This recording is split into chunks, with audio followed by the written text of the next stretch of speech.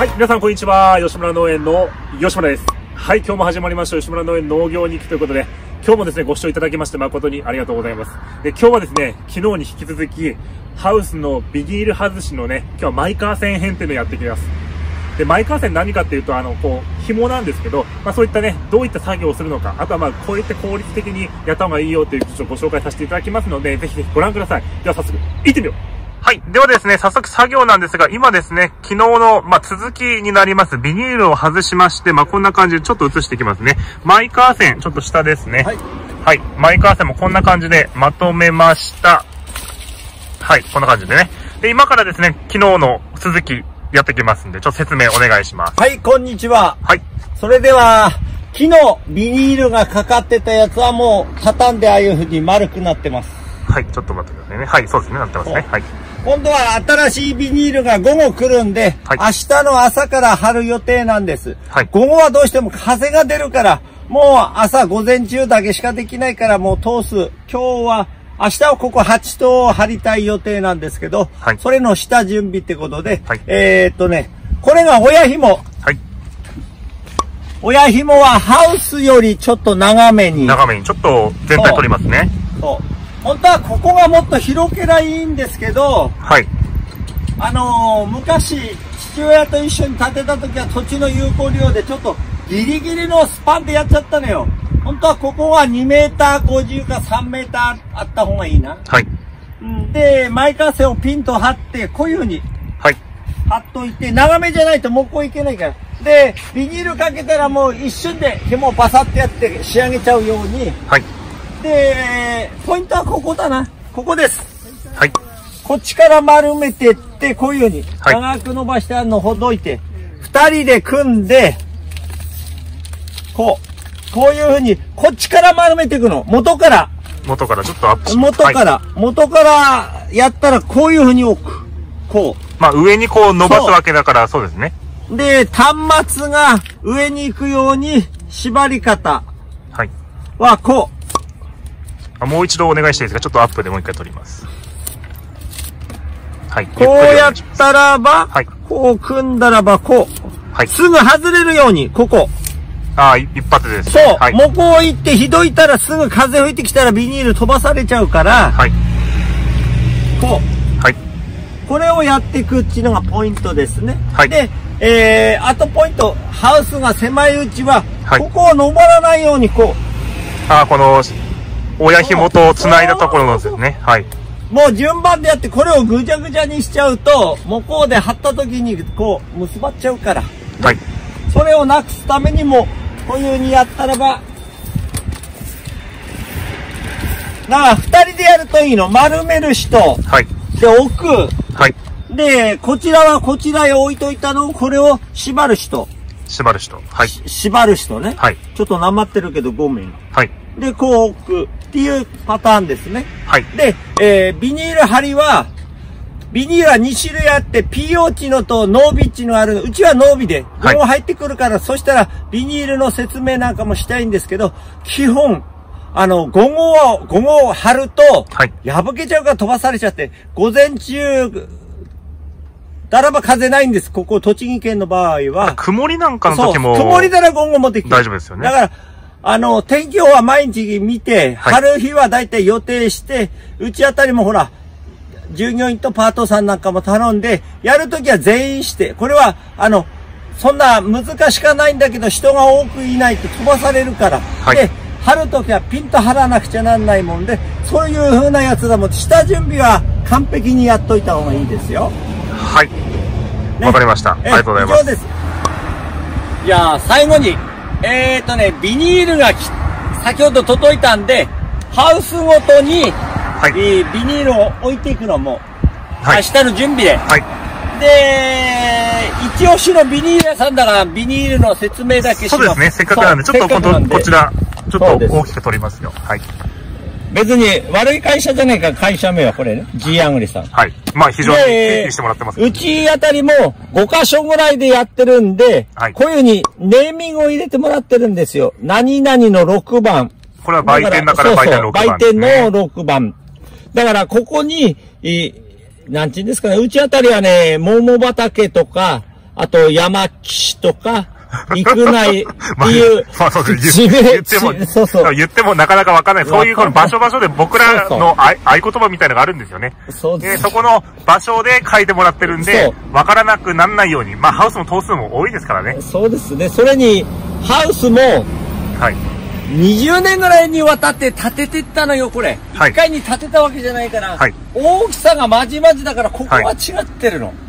ああ、ちょっと待ってください。どこですか？ここ、形状が9あーメートルとか、そそそうですねこのま間口という9かメートルそう30とかね。ねはいはいえーで、長さもまじまじだから、うんうんそうですね。で、余計目にやるとこれ結構高いのよそうですね。ビニール、しかも毎年交換ですから意外とかかる経費ですからね。は毎年だもんで、だからね、ギリギリの長さにたた、あの、注文ってことなもんで、こういうふうに詳しく書いていかないと、間違っちゃうと、ほら、はい短いとか長いとかになると無駄になるから、そうですねなるべく、もう決まったやつで決まったようにやるっていうのが、ワンポイントね。はい。明日はこういう話してられないから、ザクッと言ってザクッと。そうですね。もう春となったらもう時間との勝負ですからね。そうです。はい。ありがとうございます。じゃあ明日からはね、貼っていきましょうね、しっかり。はい。よろしくお願いします。はい。ありがとうございます。はい。では動画いかがだったでしょうかこんな感じでですね、こう、まとめていきます。はい。まとめていきますけど、まとめ終わりました。で、明日からは本格的にですね、ビニールをね、この上に貼っていきます。で、ビニールをね、貼るのはね、本当に時間との勝負になります。風が吹いてくると、本当にこのビニール簡単に飛んでっちゃったりしてね、あの、本当に、あの、簡単にかけられなくなっちゃうので、ちょっと時間との勝負なんですけど、またね、このビニールかける作業っていうのもなかなかね、見たことない方なんかはちょっと面白いんじゃないかなと思いますんで、明日はね、頑張って作業していきます。ぜひぜひご覧ください。ではまた明日の動画でお会いしましょう。ではまた。はい、こんにちは。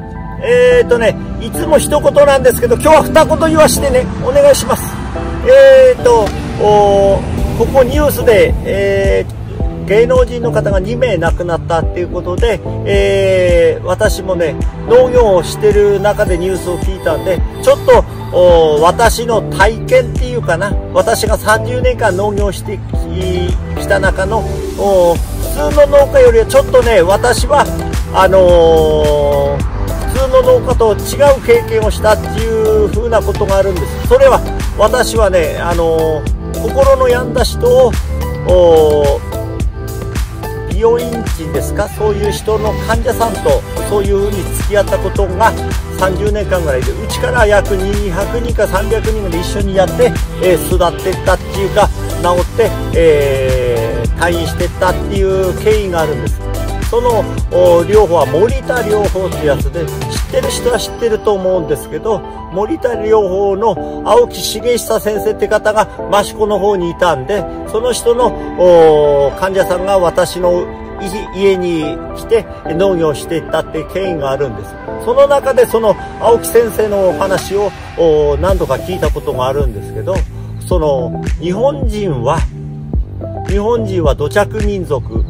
ほらアメリカ人は放牧民族です。からヨーロッパ人なんかもそうですけど日本人は土着民族同じとこで同じものを耕しながらあ生きていく生産して生きていくっていう風なものを何千年何万年っていうこの日本の歴史の中でやってきたんでだから日本人の遺伝子の中にはあそういう土を耕したり土に触ったりして、えー生活していったっていうこういう土を触るってことが一番心が癒されたり、えーそう無限ですね農業は。だからあーそういう風な面での若い人にそのきっかけはそういう風なやつなんですけど若い人の20代30代の方に言い言いたいのは食べ物だけつくんじゃなくて農業っていうのはねそういうなんちんですかね。癒しとかそういう大きなやつもあるっていうことをここの時ね。だから皆さんもね農業は無限のエネルギーがあるんだがそういう面も生かして、えー農業っていうのやってもらいたいっていうのが本音なんですよ。で私のところで私も30年間そういう患者さんと何百人の方もと知り合って、えー行ったっていうその経験の細かしいことを話したければあの3日も4日も経っちゃうからだからあー今日言いたいのは農業っていうのはね無限の力があるんですよ。ただ食べ物だけ作るっていうんじゃなくてこの農業の土着民族の素晴らしさ土を耕しながら生きていく。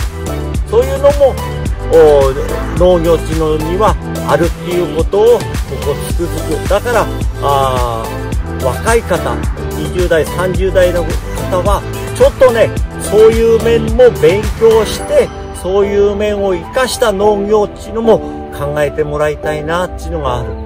もっと詳しいことを聞きたいとかそういう風なやつはコメントちょうだい。そうすればもっと事例を挙げて言いたいと思うんですけど今日はあんまり農家の私がねそんなあ森田良だなんだって言うと皆さんたまげちゃうな何言ってんのかなと思うんですけど知ってる人は知ってるんでで私もそういう人のちょっと心の病んだ人と携わる経験があったもんでまあ農業のその無限のこのエネルギーを皆さんも利用して農業を続けたり地域に貢献したりいろんなをしたりっていうそのことをしてもらいたいなっていうことで何しろもっとその先も言いたいんだけど今日その辺までしか今日は言う言うことも考えてなかったもんで、えー、もっと聞きたい時はもっとコメントくれればもっと掘り下げます。そんなとこで今日はおしまいです。まあ以上。